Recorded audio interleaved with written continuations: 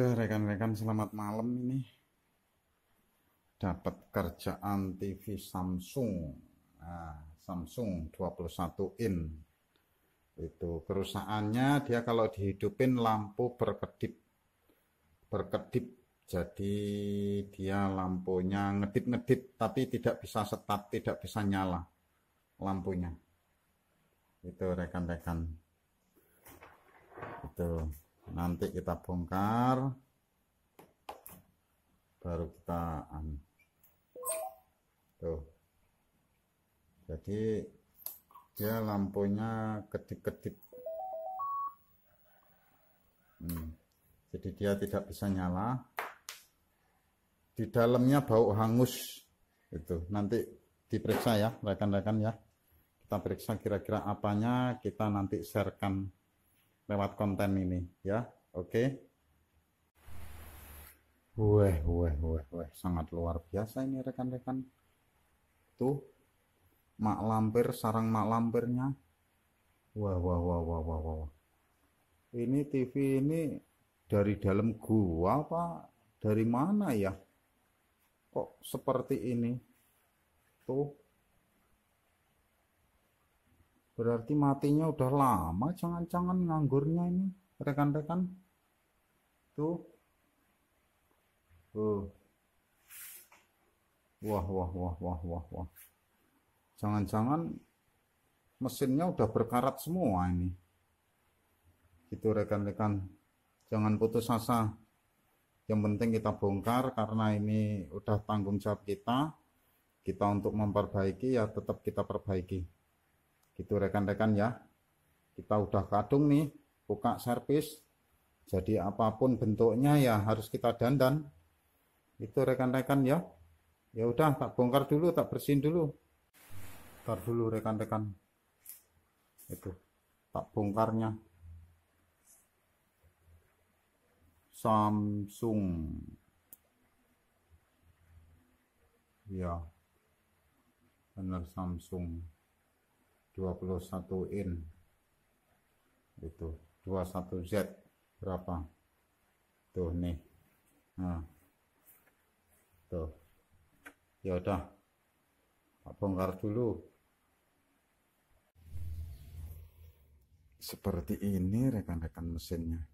Bagus mesin hitungannya masih masih mulus lah masih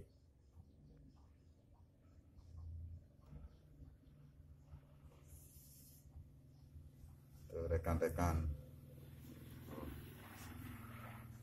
Samsung.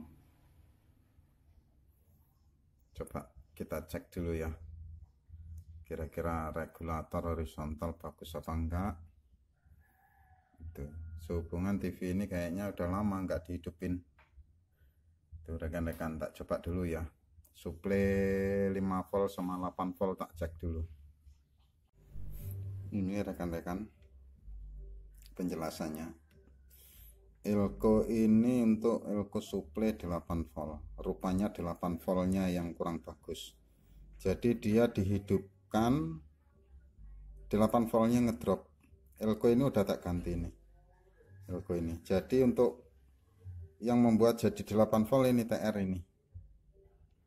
Itu TR ini. Ada di dalam tuh.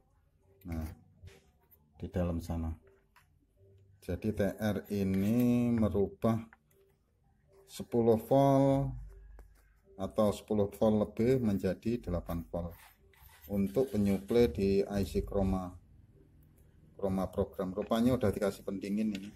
Nih kasih pendingin.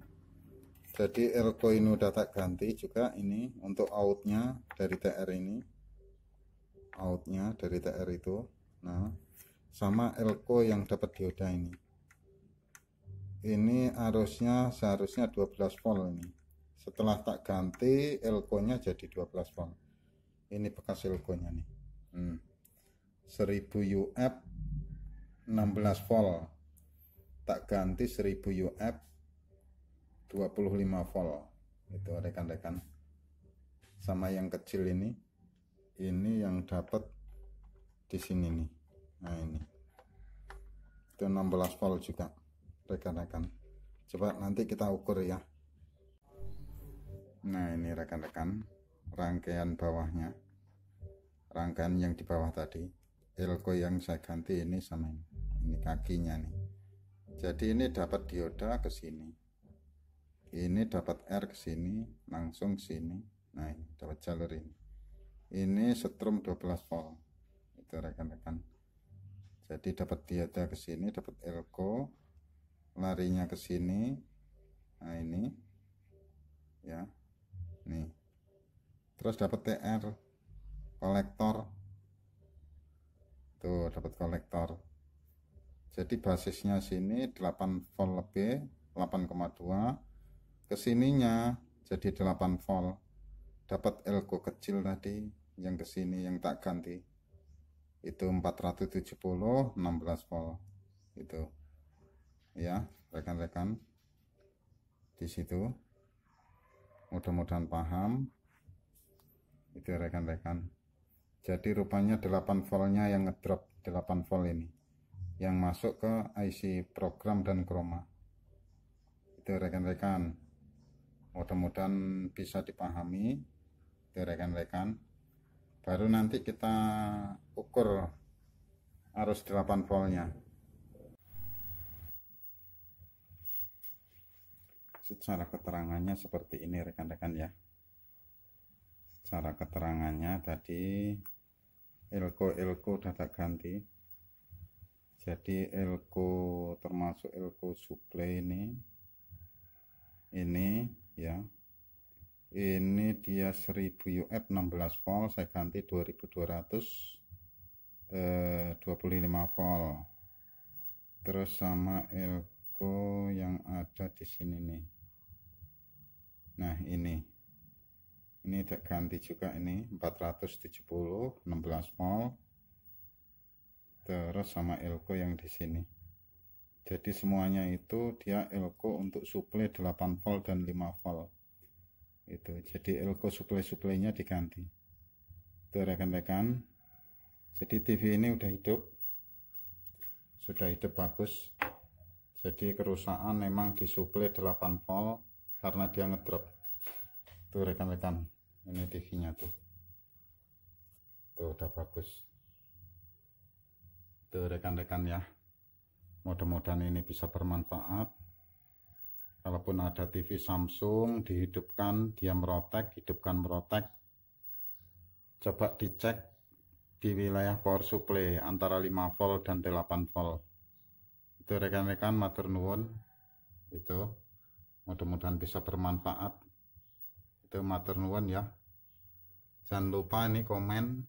Itu kalaupun ada pertanyaan bisa lewat WA 0813 796 02245 itu rekan-rekan.